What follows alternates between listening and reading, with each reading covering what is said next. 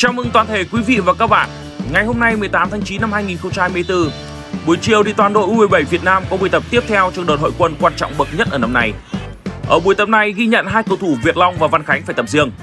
Có vẻ như ngay từ đầu đợt hội quân, ba luyện đã áp dụng rất nhiều bài tập nặng để giúp cho cao thủ luôn ở trạng thái sẵn sàng thi đấu và cũng là một bài kiểm tra thực tế về chuyên môn của từng cá nhân, đặc biệt là những gương mặt mới.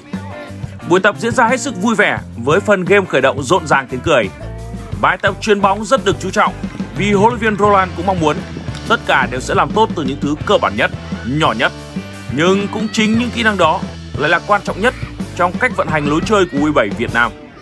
Đặc biệt trước những đối thủ vượt trội về thể hình thể lực thì rõ ràng sự khéo léo, lối chơi bóng ngắn, ban bật nhỏ sẽ là lợi thế của chúng ta. Thưa quý vị, các đồng đội cũng rất hòa đồng và luôn giúp đỡ cầu thủ tân binh Việt Kiều Maxwell hòa nhập với cả đội. Cầu thủ này về tập trung cùng U17 Việt Nam đúng vào đợt ở Hà Nội nắng khá gắt.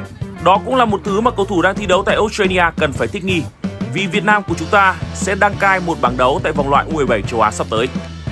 Đội rèn quân dưới nắng to, tiếng cười che lấp nỗi lo trong lòng. U17 không lòng vòng, nắng thì kệ nắng, hết lòng tập thôi.